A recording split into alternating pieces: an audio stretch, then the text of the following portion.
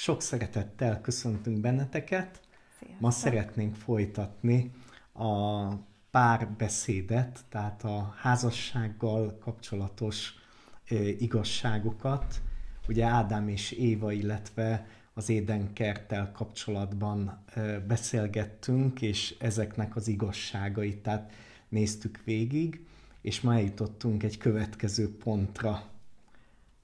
Az, az 1 Mózes 2.24-ben olvasunk egy olyan igét, ami ugye az alapja a házasságnak, ezt felolvasnám. Annak okáért elhagyja a férfi az atyát és, a, és az ő anyját, és ragaszkodik a feleségéhez, és lesznek ketten egy testé. És erről a három alapvető lépésről szeretnénk ma beszélni, mert ugye minden kezdetben benne vannak az alapigazságok, és hogy ennyire ezt a Biblia legelején már az ember teremtésekor Isten így kihangsúlyozta az igében, ezért látszik, hogy ez egy olyan alap a házasság számára, amit, mindenki szám, amit mindenkinek figyelembe kell venni ezt a három alaplépést.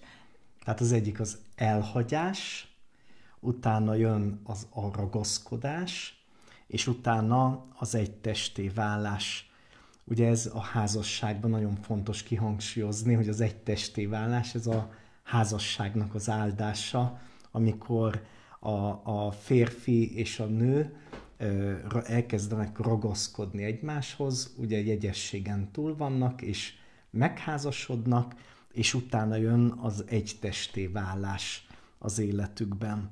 Tehát nézzük meg az első ö, ö, igazságot, az elhagyást. Ugye itt, itt én szeretnék Ábrahámmal kapcsolatban beszélni nektek, amikor Isten megjelent Ábrahámnak, akkor azt mondja az 1 Mózes 12-ben, hogy a 12.1-ben megjelenik Isten Ábrámnak, és azt mondja az Úr Ábrámnak, eredj ki a te földedből, a te rokonságot közül, és a te atyádnak házából, a földre, amelyet én mutatok neked. És nagy nemzetté teszlek, és megáldalak téged, és felmagasztalom a te nevedet, és áldás leszel. Tehát látjátok, hogy, hogy ahhoz, hogy valami új kezdődjön el, ahhoz hát le kell zárni egy régit. És le kell zárni, zárni egy olyat, ami régivé válik az embernek az életébe, és az óhatatlanul mindannyiunknak az életében, tehát, vagy sokunknak az életében ugye e, elkövetkezik ez a pont, amikor egy új családot alapít az ember, akkor a, a, a régi családját, tehát az apa és anya, tehát nem új házasság, hanem a régi család, a, ahol felnevelkedett, ott ö, azt, azt ki kell onnan jönni ahhoz, hogy valami új tudjon elkezdődni. És nagyon jól profétálta meg ezt Ádám az 1 Mózes 2-ben, hogy, hogy ez már azt mondja a feleségéről, hogy ez már csontomból való csont, húsomból való hús, és azt mondja, hogy elhagyja, ezért elhagyja a, a, a férfi, és nyilván a hölgy is a, az apját, az anyját, és így, így kezd el a ragaszkodás létrejönni. Ha nincs e, e, elválasztódás a szülőktől, akkor nagyon nehéz a ragaszkodásnak a létrejötte az embernek az életében. Igen, Ez... tehát a sorrend is alapvetően fontos, hogy tényleg addig nem tud az ember az új családjához ragaszkodni, és a társához, amíg nem történik meg egy egyfajta elszakadás a régi ö, családjától, és ezt valóban így mondhatjuk bátran, hogy az új családom, a férjem, a feleségem, természetesen a bővebb családi körömbe tartoznak a szüleim és a többi rokonom is, de ezt szerintem nem gond így bátran kimondani, és valóban, hogyha megnézzük ennek a szónak az eredeti jelentését, hogy elhagyja a Héberben, akkor nagyon kifejező és beszédesek ezek a szavak, mert olyat jelent ez valóban, hogy elindul, elmegy, tehát látszik, hogy ez egy új kezdetet is jelent, hogy az ember valami új felé elindul, és erre elkezd, ha valahova elmegyünk, akkor ugye eljön az elindulásnak az időpontja, és ezt, ezt el kell dönteni, hogy kilépünk és elindulunk. Utána jelent még ez a szójat, hogy hátrahagy. Tehát ez is kifejezi azt, hogy haladunk előre az életben, és vannak dolgok, amiket magunk mögött hagyunk, nem elfelejtjük, csak hátra hagyjuk. Hát ez, ez ugye azért fontos, mert, mert létrejöhetnek olyan szokások, tehát olyan szokásrendszerek, amit az ember nem is vesz észre az életében, de amikor, amikor két különböző hátterű ember, két különböző tradíciójú ember két különböző családi tradícióval rendelkező ember, de még ha azonosak is a, nagyjából a családi tradíciók, akkor is óhatatlanul, ahogy ugye összeházasodnak, olyan szokások, meg egyéb dolgokat mindenki hoz magával automatikusan, ami viszont folyamatos feszültség forrásá válik a házasságban.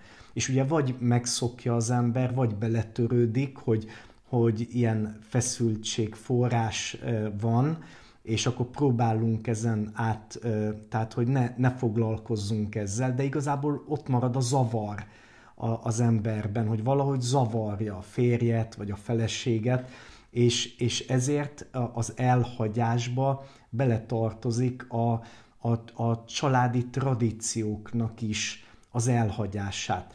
Mert, mert nyilván amikor a kettőjüknek kell megbeszélni a férnek és a feleségnek, hogy mit akarnak létrehozni, mi az az új, milyen alapelvek mentén fogjuk élni a házasságunkat, fogjuk élni a közös életünket, közös sorsunkat, és, és milyen határvonalakon belül fog, képzeljük ezt el. És nyilván mi keresztények ezt hozzáigazítjuk az Isten igéjéhez, hogy Isten igéje befolyásolja e, ennek a, a határvonalaknak a kialakulását, és, és ehhez ragaszkodunk.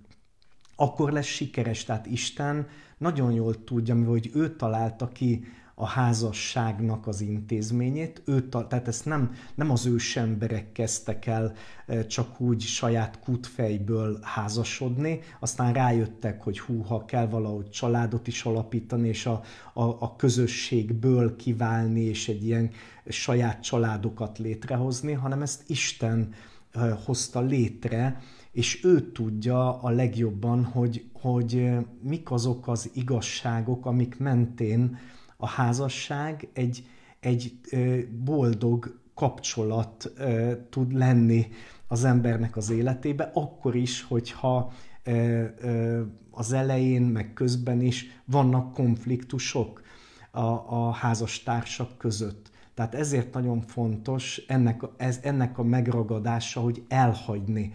Mert, mert ha ez nincs ott, hogyha az ember lehet, hogy fizikailag elhagyta a, a családját, vagyis a szüleit, de, de hogyha a, azokat a lelki kötelékeket, lelki kötődéseket, meg, meg olyan, tehát most rossz módon levő lelki dolgokat nem hagyott, tradíciókat, szokásokat és ilyen dolgokat, akkor olyan, olyan lesz az ember, mint, mint amikor Izrael fiai Egyiptomból kijöttek, hogy hiába jöttek ki Egyiptomból, hogyha Egyiptomot magukban hordozták, és nem tud addig egy új, az ígéret földjében, nem tudnak bemenni, nem tudják elfoglalni, hiszen annyi óriás van az ígéret földjén, tehát annyi ellenség és óriás van a házasság ellen, pláne a napjainkban, hogy, hogyha ezt nem ragaszkodunk az Isten igéhez, és, és nem hagyunk hátra olyan dolgokat, amit nem kell bevinni az új földre, az új család tehát alapításba, akkor, akkor mi magunk verjük tönkre előbb-utóbb a saját házasságunkat. Igen, van is egy ilyen jelentése pont ennek a szónak, hogy felhagy valamivel. Tehát pont ezt is jelenti, hogy felhagyok olyan szokásokkal, amik esetleg az régi otthonomban természetesek voltak, vagy mi úgy csináltuk, és sokszor van férj és feleség közt ilyen konfliktus, de én így szoktam, mi így szoktuk tálatani, mi ekkor szoktunk ebédeni, nálunk ez a szokás, és a másik családnál meg nem az a szokás, és egyáltalán nem természetes, hogy, hogy az a szokás, ami az enyém, hanem egy közös újat kell kialakítani, és bizony ehhez, ehhez sok dolog feladására van szükség, hiszen ugye ez a maga, amikor elhagyunk valamit, és elhagyjuk a régi otthonunkat, családunkat, ez egy fizikai, de egyben egy pszichikai elszakadás és elhagyás is legyen az tradíciók, szokások, pszichikai kötődések, tehát egyszerűen én talán inkább úgy fogalmaznám, hogy egy, egy fontossági sorrend váltás történik az ember életébe, ahogy egy gyereknél még ugye az első helyen jó esetben a szülei állnak, az életében, egyszerűen ahogy ugye felnőtté válás, új élet kezdődik, új kapcsolat indul, ott egyszerűen a szívben óhatatlanul egy fontossági sorrend csere történik meg, amikor bejön, és ez a jó, és ez a normális, hogy ugye az ember... Még a fájdalmas is. Még a fájdalmas is, de ezt tisztázni, rendezni kell magánban az embernek, hogy ez jó, ez az egészséges, ez az élet rendje, és ezért, ezért ez egészséges. És van is még egy ilyen jelentésen ennek a szónak, hogy megvon valakitől valamit. Tehát egy picit ez is benne van, hogy magunkat már megvonjuk egy picit ugye a szüleinktől, és oda kötődünk a házastársunkhoz, és több időt töltünk a családunkban, a házastársunkkal és az új családban. Tehát ez óhatatlanul jár egyfajta szakadás, szakítás, egyfajta Igen. fájdalommal, de ez egy egészséges elhagyás, és jó a Biblia, hogy tud ilyen egészséges módon beszélni az életnek ilyen, ilyen természetes dolgairól is, nem? Tehát ez az új fontossági sorrend, ez mindenképpen ö, meg kell, hogy történjen a szívünkben, vagy akár egy tudatos döntéssel, hogy a társunknak van elsőbsége az életünkben, és persze hívők vagyunk, életünkben az első az Úr, de a másodiknak kell, hogy a társunk legyen, és nem apánk és anyánk, és ne ez történjen, hogy, hogy egyszerűen a, a férj vagy a feleség háttérbe szorítva kerül egy anyós, egy após Hát miatt. ugye ez meg, megrontja a, a házastársak közötti kapcsolatot, tehát nem egy házasságot láttunk tönkre menni, illetve helyreállni, olyanból, hogy mondjuk szomszédok voltak, az após, anyós, vagy a, vagy a, a szülők, a szomszédok voltak, és vagy egy, egy lakásba, egy házba laktak. Tudom, hogy néha az, a körülmények hoznak létre nehéz helyzeteket, és, és persze nyilván segíteni is kell ezekben az esetekben, de, de amikor az ember megteheti, akkor ugye általában a magyar emberek úgy vannak vele, hogy, hogy hát még több pénz marad meg, tudunk gyűjteni, be tudunk fektetni valamibe, vagy majd később el tudunk kezdeni valamit, de sajnos sokszor ez alatt az idő alatt, amíg ugye meg, megmagyarázzák maguknak, hogy addig is gyűjtünk, meg, meg nem kell kiadni azt a pénzt, addig, addig viszont tönkre mennek kapcsolatok.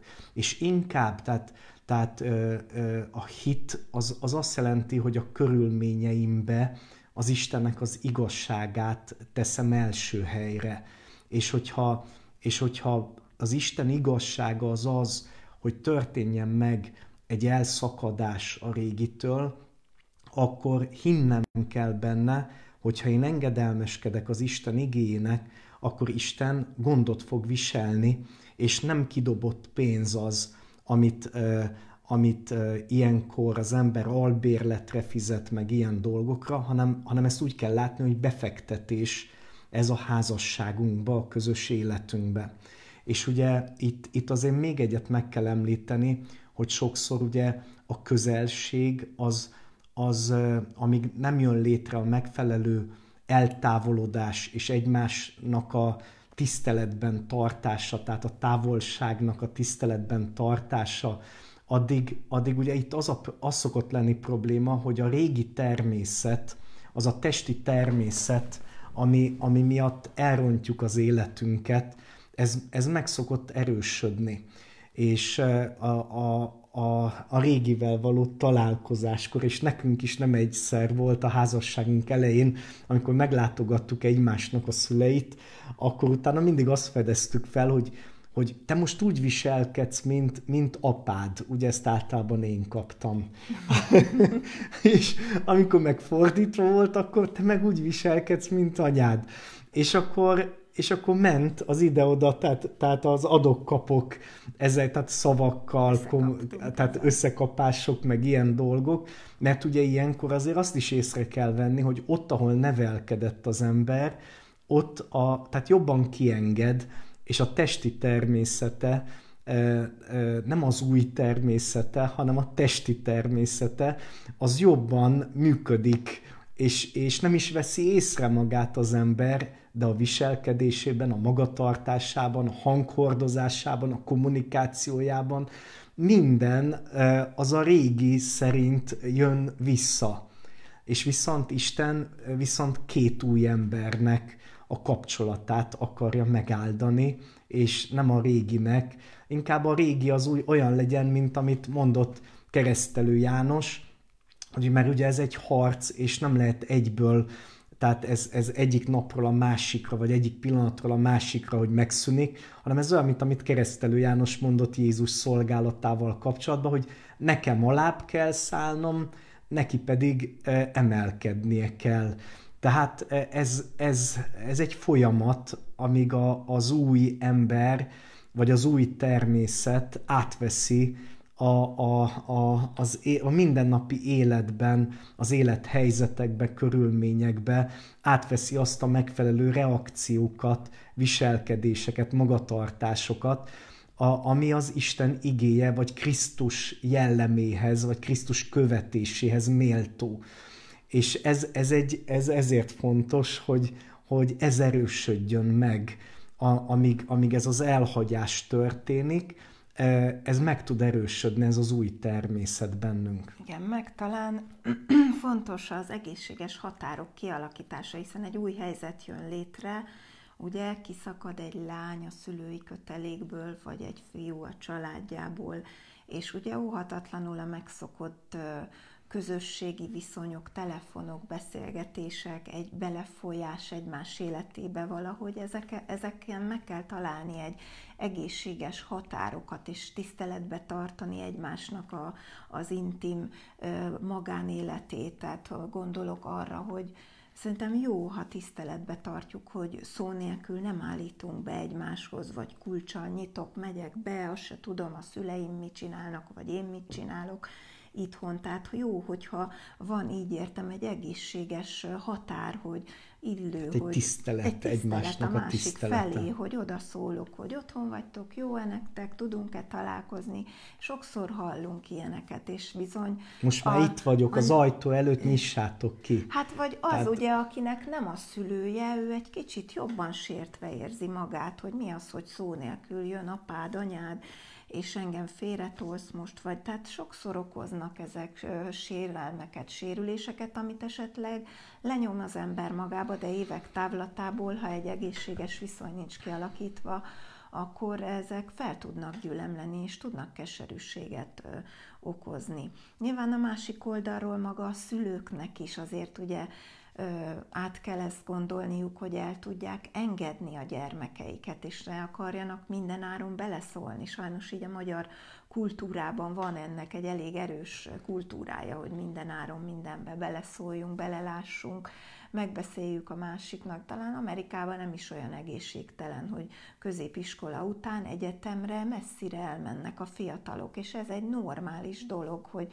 tudatosan olyan egyetemet választanak, ami messze van az otthontól, hiszen a saját lábraállásra van szükség, a felnőtté válásnak az önálló lépései, amit több, több kevesebb sikerrel, de mindenki saját bőrén megtapasztalva Igen. kell, hogy, hogy megéljen. Tehát mint szülő... Hát nekünk is, nem? Amikor, amikor összeházasodtunk, akkor, akkor akárhogy is az volt, hogy, hogy egy keresetből éltünk. Igen, főiskolás voltam, egy keresetből éltünk, nagyon kell, alig tudtunk enni tényleg. Itt meg a lét minimum szintjén el voltunk, de, de mégis ahhoz egyértelmű volt nekünk, hogy külön menjünk, keressünk egy alb, egy szobánk volt albérletre, tehát tehát ez egyértelmű volt, nyilván valamennyire kaptunk, ony, tehát mentünk ebédelni, vacsorázni, amint szükségünk volt, de hát egyszerűen idővel ezeket a, ezeket a határokat próbáltuk így tudatosan önálló lábra állni, és azért nyilván a nagyon nagy össze boronálás, boronálódás óhatatlanul beleszólást, függőségeket, elvárásokat hoz az ember életébe, amit utána már kellemetlennek, kényelmetlennek érez. Hát pláne ugye, hogyha, hogyha ugye szülők, hát hogyha megházasodnak, ugye a férj, az, ta, az tanulja meg megenni a feleségének a főztjét. és és nem, a, nem a szülők főznek rá a gyerekekre, hát ebbe is, ugye ez egy fejlődési folyamat is Bele kell, hogy legyen. Is. Bele kell tanulni ebbe is, és tehát együtt, együtt kell kialakítani ezt, ezt az új életet. Igen, tehát ilyen módon nyilván nem a szülőkről való megfeledkezésről beszélünk, és ez egyértelmű, hogy a szülői tiszteletet ez egyértelműen megadjuk, és természetesen ahol szükséges, ott egyértelmű, hogy a gondoskodásról is sem feledkezünk meg, de mégiscsak ez az egészséges fizikai, pszichikai és anyagi önálló lábra állás, ez egy jó dolog, kénytelen mindenki a saját keresetéből, amennyie van, annyiból megélnie, és így tanulja meg az élet dolgain, hogy mindenki ahol tud, ott kezdi az életet. Tehát az egy nagyon fontos, hogy ne a pénzen spóroljunk, hanem, hanem ez egy, ezt kell megjegyezni, hogy ez egy befektetés tehát nem kidobott pénz, hanem tehát az, hogy önálló lábra állunk, az nem kidobott pénz, hanem ez egy befektetés a házasságunkba. És Isten látja, hogyha első, tehát hogyha szabadok vagyunk a pénz szerelmétől, és nem a pénz miatt csinálunk valamit, hanem, hanem van, amikor, ha körülményeink úgy adódnak, akkor hitből csinálunk valamit, akkor Isten meg fogja áldani az, az anyagi életünket is és, és rábízhatjuk magunkat, hogy fog hozni olyan körülményeket, lehetőségeket, amikor az ember a, ki tud törni a, azokból a dolgokból. Igen. A, a, tehát a, a következő a ragaszkodással kapcsolatban a Ruth könyvéből hadd olvassak fel nektek. Ugye ez volt az elhagyási rész, hogy elhagyja az apját és az anyját. És ugye ezt a férfinak is meg kell tennie, és a feleségnek is. Ugye látjátok a, a Ruth könyvében például azt mondja, hogy, hogy a Boáz azt mondja Ruthnak, hogy, hogy ez egy óriási áldás, mert meghoztad ezt a döntést. Tehát ezt ugyanúgy a nőknek is a, a, a, a családjában, meg kell. családjában meg kell ezt hozni. Igen, mert gondolhatná valaki, ugye, hogy itt az van, hogy elhagyja a férfi apját és anyját, és akkor jó, persze a lány ragaszt, tehát a lány viszont a családjával összeolvadhat. De pontosan a Ruth példája mutatja ezt, hogy ő is elhagyta a családi házát, és ezt szeretnénk itt. Tehát a ragaszkodás a következő a, a ragaszkodásban, itt a Ruth könyvéből szeretnék felolvasni, a ragaszkodás az egy kötődést jelent. Tehát, hogy az ember a, a, az elhagyással, tehát egy új e, e, kötődést hoz létre a férjével, és a fe, vagy a feleségével, és, de ahhoz, hogy ez a kötődés, ez a hűség, ez a kapcsolat létrejöjjön, ezért az elhagyással kezdődik a kötődés, a ragaszkodás és a hűséggel kapcsolatban azt mondja a Ruth könyvében a, az Istenek az igéje a 16. verszakban, első fejezet 16. verszak, én a hozzáállásról szeretnék beszélni. Mert ugye a, a Ruth az, a, az az anyósával együtt visszament Izrael földjére. És az a fajta ragaszkodás, az a fajta kötődés, tehát, tehát ezt kell létrehozni a házastársak között. Ö, ö, nem az anyós, tehát a, a, a, a menye és az anyós, vagy a, ugye Dávidnál, ahogy barátok voltak a, a Jonatánnal, hanem az a fajta kötődés, ami férfeleség között ott kell, hogy legyen, ez az, ami áldást hoz az Istentől. Ez a fajta hűség, egymáshoz. Azt mondja itt Isten igéje, és ebből a szempontból mondom, hogy, hogy mond a, a, a, a Rútnak, a Naomi azt mondja, íme a te sógorasszonyod visszatért az ő népéhez és az ő isteneihez. Tér vissza te is a te sógorasszonyod után. A Rut pedig mondta, ne unszolj, hogy elhagyjalak, hogy visszaforduljak tőled, mert ahová te mész, oda megyek, és ahol te megszállsz, ott szállok meg néped az én népem, és Istened az én Istenem. Látjátok ezt a fajta elköteleződést egymás fele. Ahol te meghalsz, ott halok meg, ott temessenek el engem is. Úgy tegyen velem az Úr akármit, hogy csak a halál választ el engem tőled.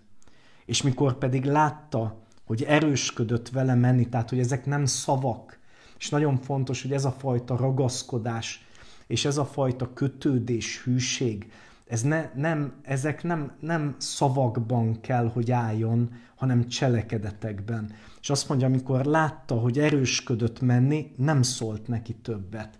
És látjátok a, a rútnak az életébe pontosan ezt a ragaszkodást és ezt a hűséget áldotta meg Isten, ezért tudtak a körülmények úgy alakulni, eh, hogy előrebb ment az életük, úgy alakultak a körülmények, hogy anyagilag és minden szempontból helyreállt a, a Naominak is az élete, a Ruthnak is az élete, és ez e, e, ilyen, egy ilyen kötődés kell, hogy létrejöjjön.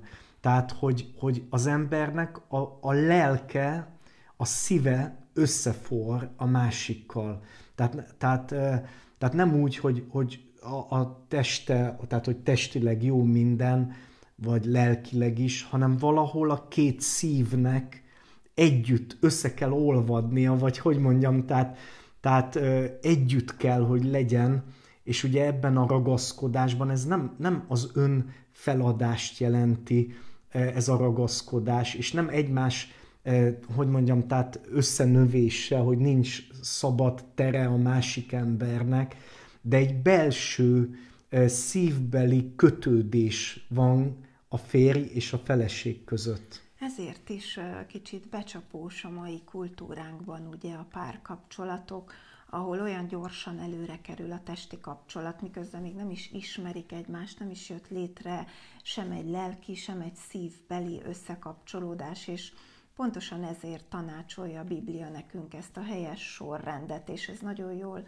mutatja a helyes sorrendet is, ugye, amikor megismerkedünk valakivel, először megismerjük egymás lelkét, beengedjük egymást a szívünkbe, hívő emberként összekapcsolódik a szellemünk, és a legvégső csak, ami a házasságban van, hogy a testi együl, egyél létel megvalósul, és hogyha ezeket felfordítja a világ, és egész más sorrendet ad, ugye, és gyakorlatban egész más sorrend van, akkor bizony pontosan ez a kapcsolódás, ez a ragaszkodás tud kimaradni egy kapcsolatból, amit pedig ugye alapnak mond a Biblia, tehát ez, ez egy alap, alap ez az szívbeli összekötődés, és ez a maga ez is mutatja ragaszkodás, összeragadás, tapadás, ilyet jelent ez a szó, hogy, hogy vállás nincs. Ha valamit összeragasztottunk egy ragasztóval, az csak nagyon nagy sérülésekkel lehet szétválasztani, tehát ez, ez mutatja a bibliai gondolkodásmódot is, meg a rútnak az igéjéből is látszik, hogy az ember csak a halál választja el házastársától. Tehát ezt így kell hozzáállni keresztényként, és így indulni neki a közös életnek, hogy elkezdtünk egy közös életet, ezen együtt fogunk haladni, völgyben, hegyen, jóban, rosszban, nehézségben, kitartunk egymás mellett, és kizárjuk az agyunkból, a tudatunkból, hogy vállás pedig nincsen. Igen. Tehát ez, ez így kell hozzáállni. Van még egy ilyen jelentése ennek a szónak is, hogy nyomában van, követi és szorosan üldözi. És nagyon tetszett nekem ez női szemmel, ugye, hogy, hogy sokszor így belegondoltam, mikor, mit jelent ez, hogy nyomában van, üldöz, állandóan hajt rá, ha lehet így mondani. Sokszor a kapcsolatokban ezt ismerkedés alatt éljük át, ugye, hogy, hogy tényleg rajta vagyunk, mikor találkozhatunk újra, mikor láthatjuk egymást, vagy ahogy egy, egy fiú hajt egy lányra, hogy udvaroljon neki, és nyilván abban az időben vonzóak vagyunk, és törekszünk arra, hogy a megjelenésünk, a külsőnk, a hajunk, a ruházatunk, az illatunk, mindenre odafigyelünk a rendezvúkor, aztán valahogy, ahogy összeházasodunk, ebből hajlamos az ember alább adni, de mégis azt gondolom, hogy ahhoz, hogy ez a ragaszkodás meg tudjon jó és egészséges módon is történni, női szemmel fontos ez, hogy legyünk olyanok a házasságban is, vagy még inkább, aki, aki után lehet, ha lehet így mondani, futni, aki után lehet még udvarolni, és, és egy, egy igényességet, és egy, egy hát vonzó, megőri, megőrizni, megőrizni ezt az igényességet. Igen, tehát a férfiak vizuálisak, van igényük a szépre, a, a szemük motiválja őket, tehát nem ne hanyagoljuk el, mint nők otthon magunkat, hogy kis lyukas mackóba, hajcsavarókkal a fejünkbe várjuk a munkából hazaérkező férjünket, Persze nem magas sarkú és mini kosz vagy kosztümkére gondolok, de egy igényes külső, és nem véletlen mondja a derékasszonyról is a Biblia, hogy erő és ékesség a ruhája, tehát van a külsőjében is, a megjelenésében is egy, egy, egy kisugárzás, ami, ami vonzó, és ezt nem, ne hanyagoljuk el, mint nők a házasságban, hiszen erre ugyanúgy ö, szükségünk van, és lehet az alakunkkal törődni. Éppen a héten, ahogy fodrásznál voltam, jött be egy nő, 60 év körülinek nézett ki, és mondja, hogy á, most tornáztam egy órát, és a fülembe súgta a fodrásznő, ez a néni most múlt el 80 éves, és minden nap tornázik egy órát, és teljesen fit volt, és Mondom, ez igen példaértékű, hogy a külseje, a megjelenése egy olyan egészséges, jó megjelenés sugárzott, és ez fontos, hogy, hogy figyeljünk oda a külsőnkre, az alakunkra, az öltözetünkre, amennyire tőlünk telik. Nyilván nem top modellek vagyunk, megszületnek a gyerekek, az alakok változnak, de mégis egy igényesség, egy jó kisugárzás, egy vonzó vonzás legyen. Hát ezt meg kell őrizni, ezt az igé... ez, ez egy belső igényesség, és persze tudom, hogy ilyenkor lehet mondani, de hát nincs arra idő, meg erre nincs idő, de igazából arra adunk időt, amire akarunk. Tehát, tehát arra lesz idő, amit szeretnénk, hogy, hogy idő legyen. Uh, nyilván tehát, tehát meg kell tenni a mindennapi életnek is a, a kötelezettségeit, de azt ne felejtsük el, hogy, hogy ez a világ, ez egy, ez egy, hogy mondjam, ez egy vadon. Tehát, hogyha így mondom, nagyon sok ragadozó van kin, akik ragadoznak a feleségünk után, vagy a férj, férj után ragadozna, ragadozni akarnak, és nekünk viszont meg kell őrizni egymást magunknak, és, és nem szabad ugye ezen a területen, tehát nem úgy van, hogy most már elvettél feleségül, most már hozzád mentem, és akkor lehet igénytelennek lenni, és, és akkor, akkor ki lehet ebből, hogy mondjam, tehát úgy ereszteni, hogy, hogy most már mindegy. Nem kell adni magunkra. Igen, meg vele gondoltam, sok férfi jön, megy a világba, a városba, az irodába csinos, jól öltözött nők jönnek, mennek, és akkor hazaér, és otthon meg belép az ajtón, és milyen látvány fogadja, nem mindegy, hogy hát, ajtót nyit, és jaj, segítség, futok inkább vissza, vagy pedig egy, egy olyan hely, ahol ugye az otthonba belép, és a, és a feleség is egy kellemes megjelenéssel, egy vonzással, egy jó egészséges ö, kisugárzással tud Látjátok, hogy, hogy az ember ilyen, tehát hogy, hogy mi nem csak szellemi lények vagyunk, hanem, hanem van lelki igényes, tehát igényünk is, meg van testi igényünk is, és ezt nem szabad a keresztényeknek, e, ezt, ezt nem szabad elhanyagolniuk, ezt, ezt a, a lelki-testi oldalát is a, a, a házasságnak.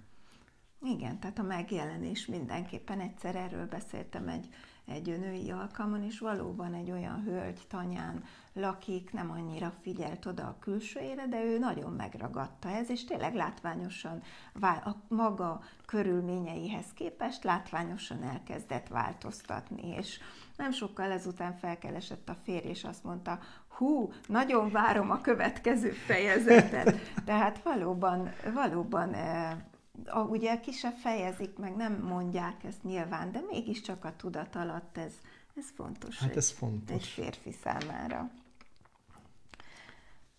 A ragaszkodással? Mm, talán én most ennyit. Oké. Okay. Tehát ez nagyon fontos. És befejezésül pedig ugye a, a, a következő az egy, ugye azt mondja, hogy egy testé lesznek.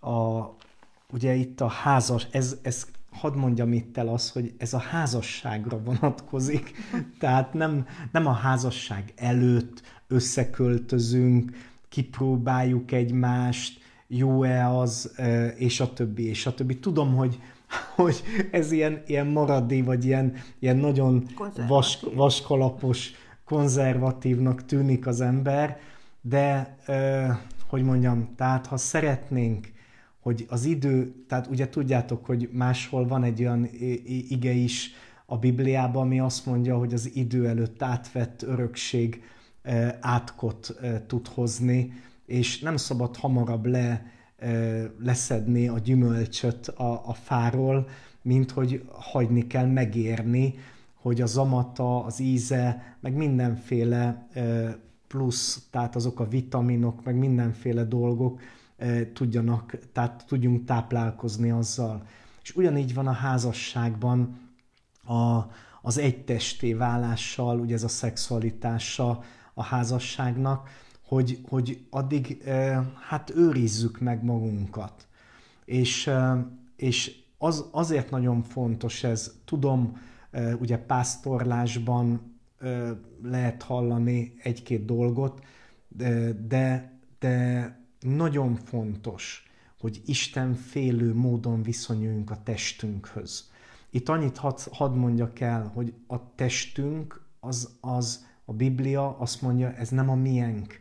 A testünk az az Úré, és az Úr a testünké. És a, az Úr a testünket a feltámadásra tartogatja. Most úgy kell látnunk a testünket, mint egy mag, magot, amiből később lesz csak az igazi növény. Tehát most, amit élünk életet ebben a testben, ez a test egy magformátumban van, és csak, csak a feltámadás után, vagy az elragadtatás után, a megdicsőülésünk után fog a testünk az igazi, tehát az az igazi, valóságos valamivé válni, ami, ami ami most még csak növény, tehát növény szempontból magként éljük meg. Tehát nem ez az, hogy mondjam, tehát nem az igazi, tudom, hogy ez is igazi, de a legigazibb az még vár ránk a feltámadás és a megdics, vagy a megdicsőlésünk után. És ezért így kell látnunk a testünket, hogy nem azért van testünk, hogy mindenkinek odaadjuk, aki éppen az utunkba kerül.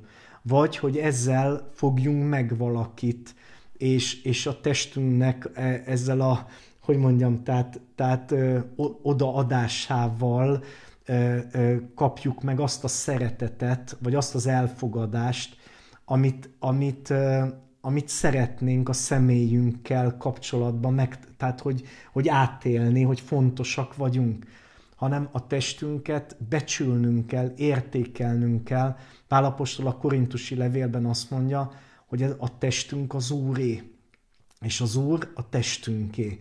Az Úr azért támad fel, hogy a testünkkel történjen valami olyan, ami, ami, amit Ádám elvesztett a bűnbeesés által, és az emberiséget visszahozta ide Jézus, legalábbis az emberiségnek azt a részét, aki hisző benne és újjászületik.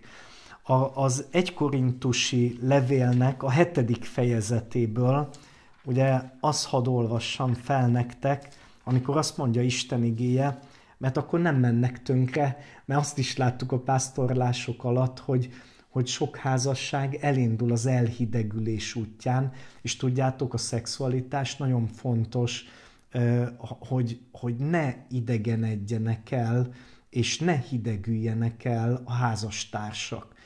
Azt mondja itt Pálapostól a második verszakban, de a paráznosság miatt minden férfiúnak tulajdon felesége legyen, és minden asszonynak tulajdon férje legyen.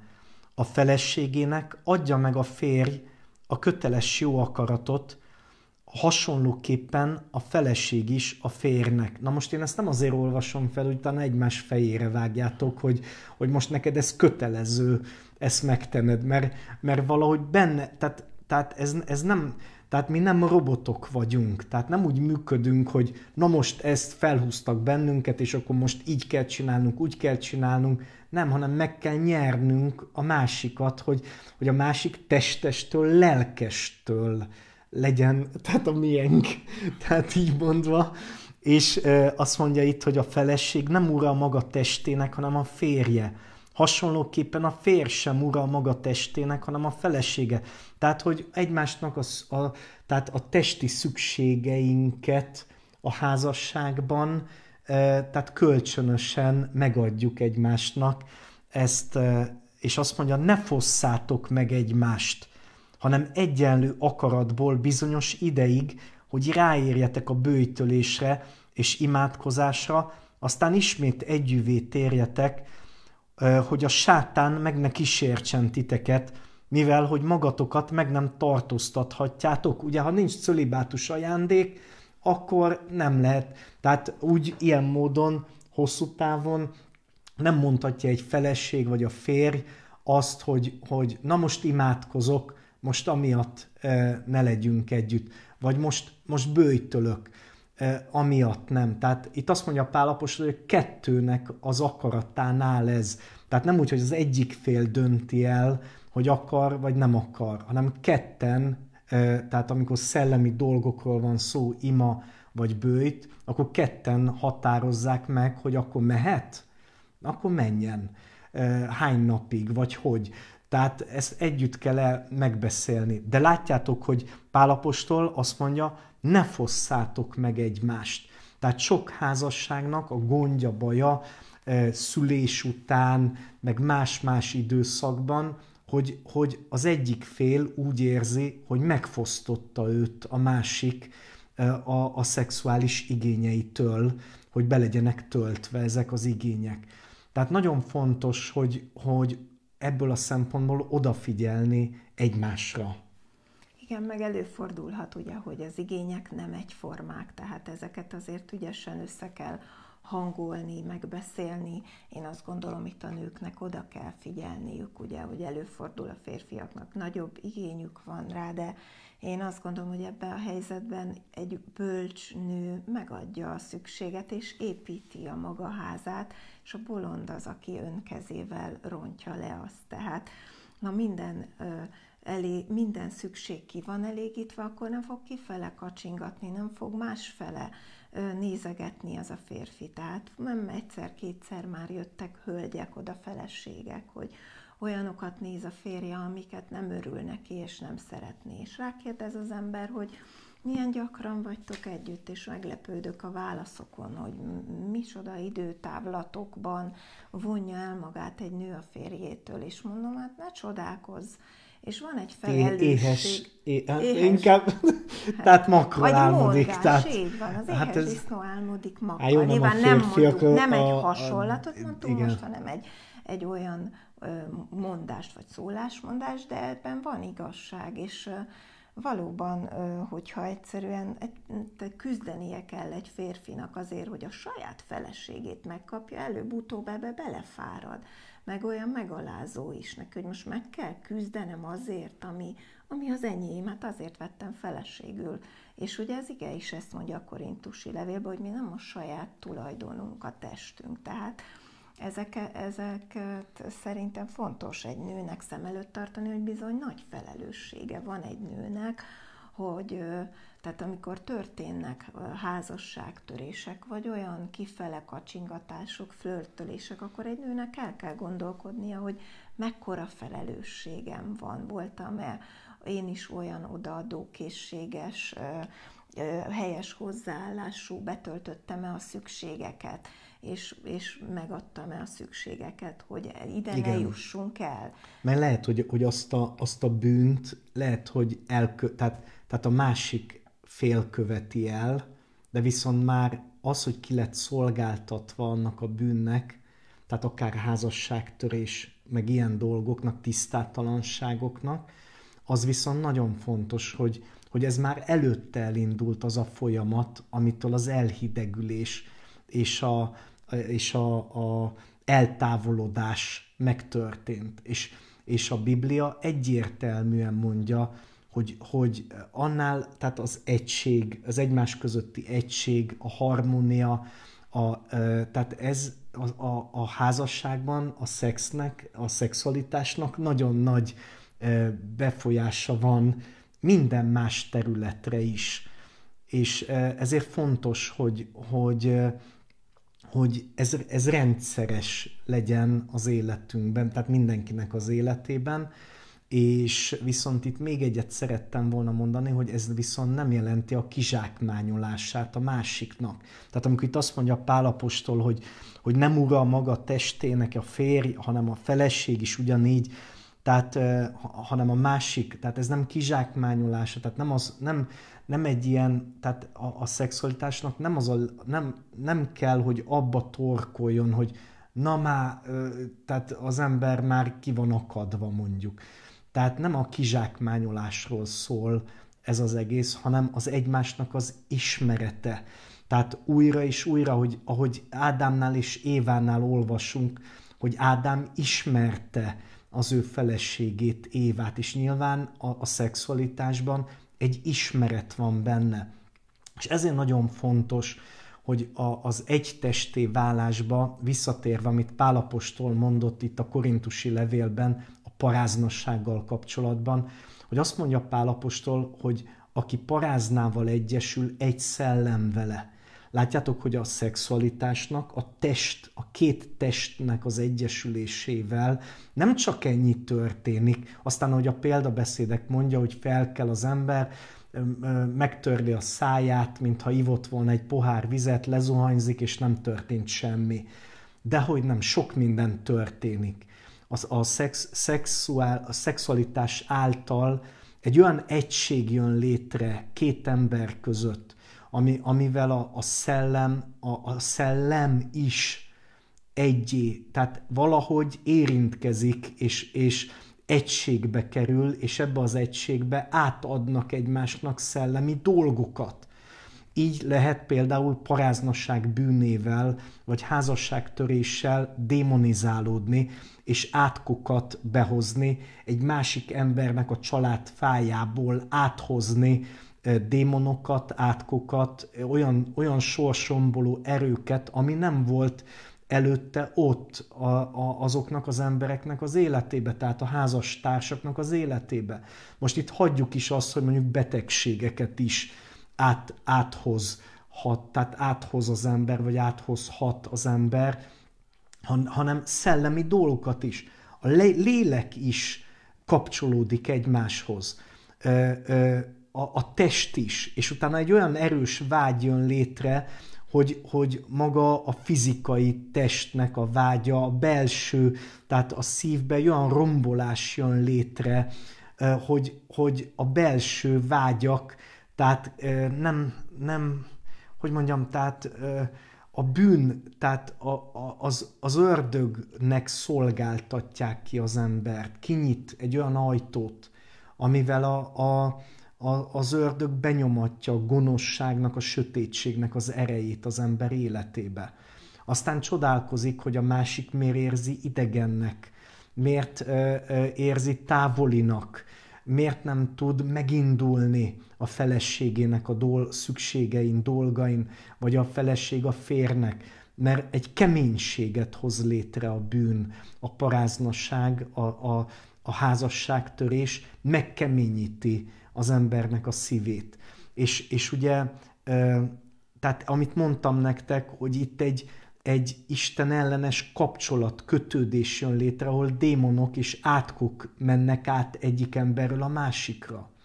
Viszont házasságban a szexualitás az a másik embernek az ismerete, egy betelése a másik embere, mert a ragaszkodás azt is hozza az emberrel, hogy a másikkal be akarok telni.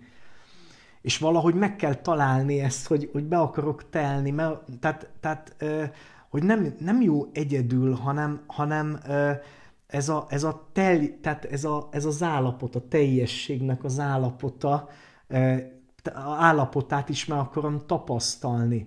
És ezért nagyon fontos ugye itt a, ha betegségek, meg egyéb dolgok nem zárják ki, akkor nagyon fontos, hogy újra és újra igen, újra és újra együvé térjenek a házastársak, és ez ne nehez, ne, ne nehez, tehát nehéznek essen ez, hanem, hanem fontos, hogy ezt mindvégig, tehát nem csak a 20-as években, tehát hogyha fiatalon házasodik meg az ember, hanem a 30-as, 40-es, 50-es, 60-as, 70-es, 80-as, Ábrahám még 90-es, 100 éves korukban is. Tehát ezt valahogy tudják gyakorolni és megoldani, hogy újra és újra ez az együvé térés meg tudjon történni.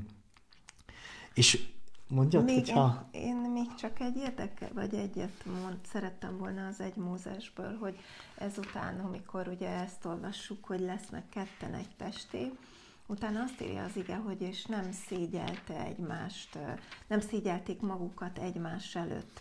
Tehát szerintem ez is fontos a házasságban, hogy ne legyen egy szégyenkezés, egy, egy szégyen érzet az emberben. Nyilván ehhez kötődik egy egészséges énkép, egy, egy önmagunk elfogadása, és egy egészséges gondolkodás a saját testünkről, hogy azt ne szégyeljük, de ez a normális, Igen. hogy a férj és a feleség látható, átlátható, és nem, nem kell ebben szégyenkezni egymástól. Tehát hm. szoktuk mondani, hogy nem sötétben matatunk. hát de ez ugye nagyon fontos, hogy, hogy amit régebben én is szoktam hangsúlyozni, hogy ugye el kell fogadnunk a saját testünket, saját magunkat, nem, nem elvetjük, mi így vagyunk jók, tehát Isten ilyen, ilyennek teremtett bennünket, és ezt el kell fogadnunk magunkról is, a külsőnket is el kell fogadni.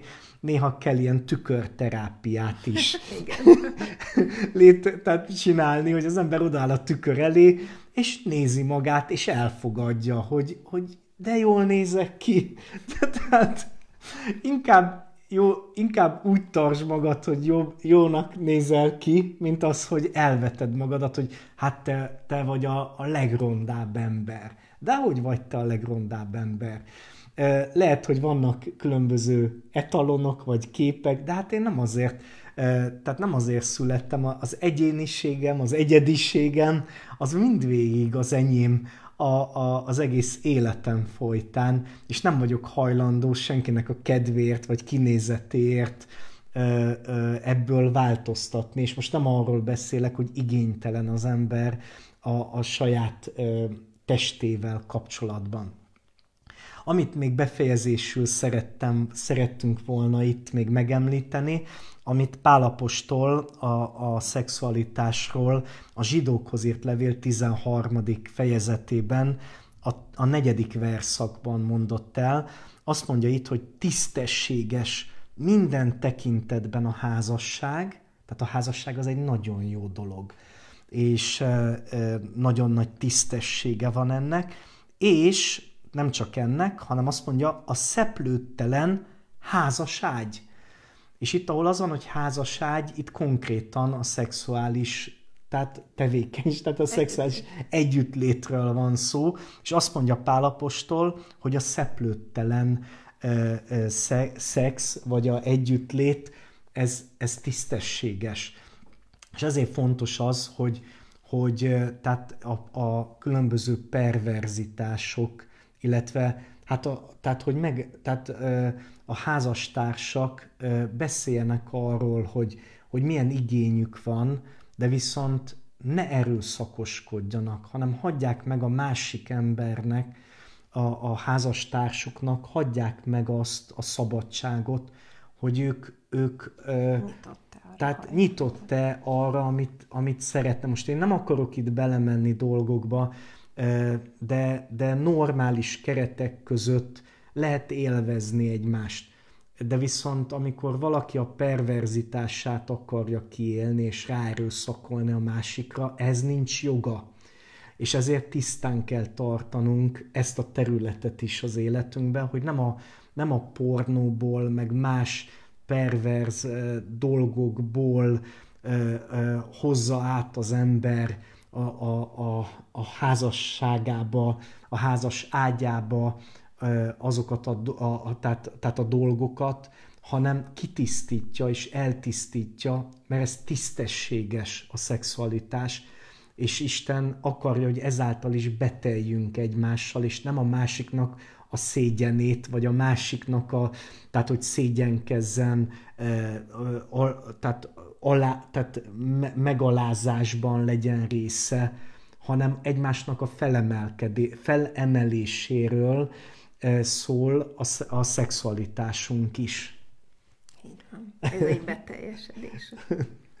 Tehát köszönjük a figyelmeteket, köszönjük, hogy velünk tartottatok, és a názáreti Jézus Krisztus nevében az Istenek az ereje töltse be a házasságotokat, Istenek a hatalma menjen rá a házasságotokra, szentsége, tisztasága menjen rá, és a názáreti Jézus nevében, ha vannak olyan területek a házasságotokba, ahol az, a tradíciók, a szülői vagy a, a, a családi tradíciók nyilvánulnak meg, ott szabadító kenet jöjjön rá az életetekre, a személyiségetekre, a lelketekre, és Istennek a szabadító ereje töltse be az életeteket, és a názáreti Jézus nevében megtörök az életetekbe, házasságotokba, elhidegüléseket a Jézus nevében, megtörök Jézus nevében olyan erőket, amik eltávolítanak egymástól benneteket, hütlenkedéseket, hütlenség szelleme, hagyd el a Jézus Krisztus nevében, és Jézus Krisztus nevében töltsd be, Uram, bölcsességgel őket, hogy egymásnak a tisztelete, egymásnak a, a megismerése legyen a házasságba, egymásnak, egymással való beteljesedés legyen a házasságba, és mindenféle perverzitás, tisztátalanság, paráznasság a Jézus Krisztus nevében elhagyja az életeteket, elhagyjon a Jézus Krisztus nevében a, a, a, a házasságotokat, az, a, az egyéni életet, a személyes életet a Jézus Krisztus nevében, és ha egyedülállóak vagytok, az azért imádkozom a Jézus Krisztus nevében, hogy a házastársatokat odahozza az Úr, elhozza az Úr, és legyetek olyan helyzetben, körülmények között, olyan helyen, időben, a Jézus Krisztus nevében, hogy megismerjétek, és összetalálkozzatok a házastársatokkal a Jézus Krisztus nevében. Ámen. Sziasztok! Sok szeretettel Sziasztok. bocsájtunk el titeket, és szép napot és szép estét kívánok nektek. Sziasztok! Sziasztok.